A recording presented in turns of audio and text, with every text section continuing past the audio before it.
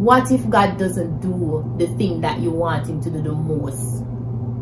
What if you don't get married by a particular age? What if you, you don't get the dream job that you, you've been working for? What if you don't get the, the, the family, the relationship, the support, the, the love that you, you've been working for? Are you still gonna serve God? What if you don't get the material things? Are you still gonna serve God? Are you still gonna have that faith in God to keep on pressing, to keep on believing, to wake up another day and to keep on believing and hoping in God? always ask yourself that question what if what i am hoping for it doesn't happen especially many young single christians who are hoping for marriage what if you reach a particular age and the marriage doesn't come forth are you still gonna serve god it is hard to come to that place to ask yourself that question but it's important to come to that place and make peace with the answer make peace with answer to say that even whatever it is, nothing is more profitable to me than God. Nothing is more beneficial to me than knowing that at the end of the day, God is with me. And that is all that matters. Even if I don't have the relationship, even if I don't have the, the material possession, the jobs, the this, the that, whatever it might be, once I have God, it is enough and it should be enough. Because my hope is not in this world it's not in this life it's not in the things of this world but it is in my vision is for it, my affection is not set on the things down here but my affection is, is set on the things above. And so as believers as christians we always have to get to that place where you can always have an open heart. Be ready to let go of whatever it is. And this is a, a, major topic but be always be ready to let go of whatever it is. Don't hold on to anything too tightly.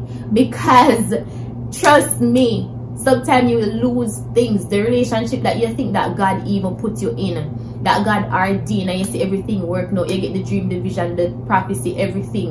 And even that very relationship, you can end up lose it at the end of the day. And if you're not careful, you lose God with the with, with the loss. You lose God with, with, with and, and it should not be so. Sometimes you can literally be doing all of the right things, be serving God wholeheartedly, just like how Job was serving God in spirit and in truth and he lost everything and so we always have to bear this in mind that not because things don't happen the way that you want it to happen the timing that you want it to happen that doesn't mean that god is on your side so hi guys so today i'll be talking about the whole concept of having faith and what to do when you encounter disappointments and when God says no. You cannot be a Christian without having faith. The Bible says it is impossible to please God without faith. And when God said that, like legit he was being very serious. Faith is the whole basis of christianity i believe. You will have disappointment.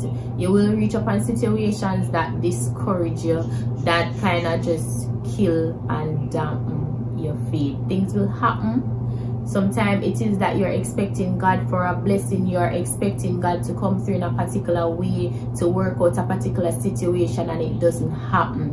And i think a lot of people they walk away from god when the idea of what they had in mind doesn't happen.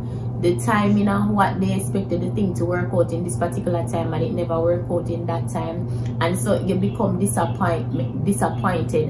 And sometimes disappointment can cripple your faith disappointment can literally cripple your faith. I have been in that place where i have been hoping praying. Sometimes even sometimes people have gotten words of prophecy. Sometimes people have gotten words from god. You have a dream. You have a vision for something. You believe that god is on board in this vision. You believe that god is saying yes this is going to happen for you or yes this this thing is going to happen in this particular time or in this particular way and it does not happen. And as a christian that can literally cripple you it can cripple your faith in god. It can cause it i've reached that place already where you question and you wonder like am i even a christian? Like if you're if you're praying to god about something you feel like god is leading you in a particular direction. And then when you reach that place the whole thing happening the way you expected or happening in the time that you expected it doesn't happen. And you wonder in yourself you begin to question yourself. You begin to question your relationship with god. You begin to question even god to say like is god even hearing me? Is god even real?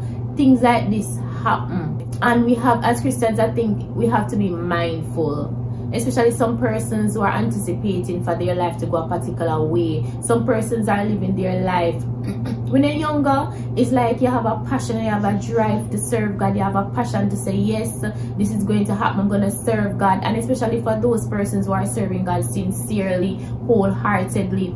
Sometimes you might feel that because i am doing the hundred you expect god to do the full hundred in your life as well in the way that you want.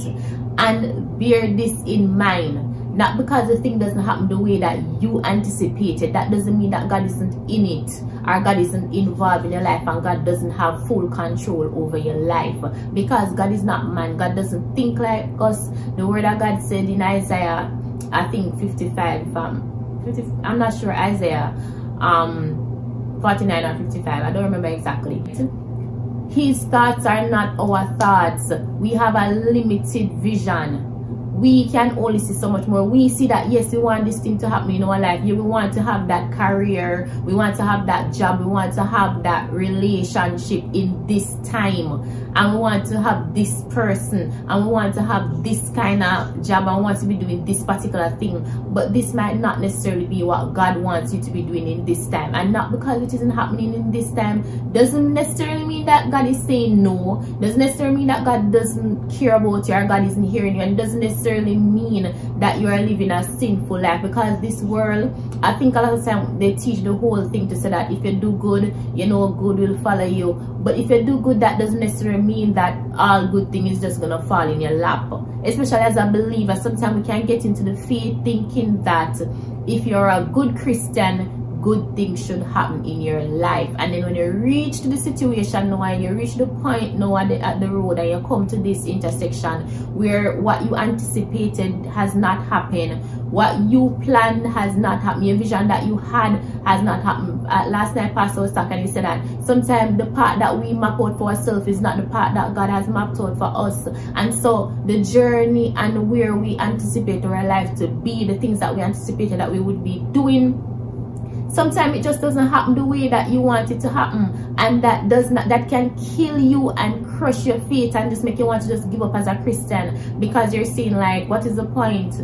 What is the point if i'm going to be doing all of this? And sometimes if uh, sometimes yes people you do things sinful things and it causes you to be kicked off out of line with your purpose. It causes you to be kicked off track but sometimes you can literally be doing all of the right things be serving god wholeheartedly just like how job was serving god in spirit and in truth and he lost everything. And so we always have to bear this in mind that not because things don't happen the way that you want it to happen. The timing that you want it to happen that doesn't mean that god is on your side. That doesn't mean that god has a plan. Because maybe even all as romans 8 verse 28 one of my very favorite scriptures that all things work together for our good.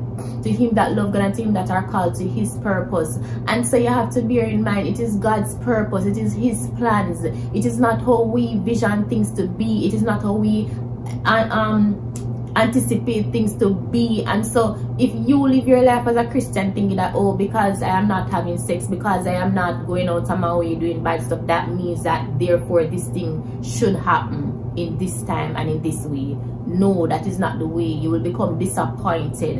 And when you reach that place you become discouraged. And you're not be you're not discouraged in the fact that all right the thing don't work out. Sometimes you're discouraging god thinking that god not doing what he said he would do when God never did make that bargain with you to even begin with.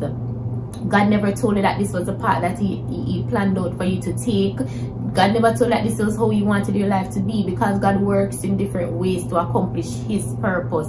Because you think that, okay, my career being in this position is going to be beneficial to me in this way and that is going to be better for me.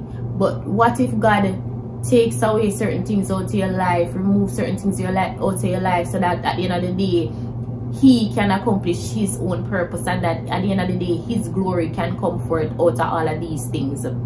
Right? And so we always have to bear this in mind that don't set up yourself necessarily for disappointment either. Always have room in your heart and in your mind that you know what at the end of the day God even as Jesus said, Nevertheless, not my will, but thy will be done. Nevertheless, not what I had in mind. And I always have to get back to that basis. when disappointment come get back to that place say you know what god yes i wanted this thing i was hoping for this thing i was anticipating for these things happening in my life but it has not happened but nevertheless not what i want not what oh I, and this is also applicable for non-believers as well not it's not all about how you don't just throw in the towel because something that you were you were working for something that you were working towards it it didn't happen in the way that you, it happened you wanted it to happen don't just throw in the towel and to think that life is over. Maybe your life is just beginning because God is able, God is God enough to be able to use every single aspect of your life and the things that are even the most disturbing and the things that you find evil most detestable like these are the things that god is able to use to bring out his greater purpose to show forth his power to show that even when this person felt like they were failing at life even when everything seemed as it was out of whack it was chaotic i was even in the midst of that i was able to demonstrate my power. I was able to come forward to come through in a powerful and in a magnificent way so at the end of the day i've grown i think to to to come to the place where i hold everything where i make room in my heart for everything to to to basically to go. So i make room in terms of holding on to things. I don't hold on to things too closely but i always make room in my heart to hold on to god the closest. So that comes at me when if if you don't get the thing that you've been praying for fasting for whatever it might be at the end of the day say you know what god as long as i have you and it is it is a hard thing to do and to see and to really commit to but it is important and it is necessary because trust me as a christian things are not gonna always happen the way that you envision. Things are not gonna always work out the way that you planned. Things are not always gonna be the way that you anticipate. And so you always have to make room in your heart to lose stuff to lose even the friendship. Yes it will hurt. It will be painful but at the end of the day uh, you always have to make room in your heart. Not just live your life with a, a, a one track mind but say that this is it this is what i want.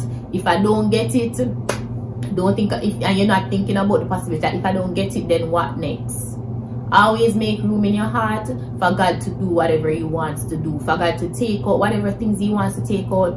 Regardless of how painful that process is make room in your heart for god to do whatever he wants to do whenever he wants to do it. I hope this video was beneficial in whatever way and hope to see you in the next one. Bye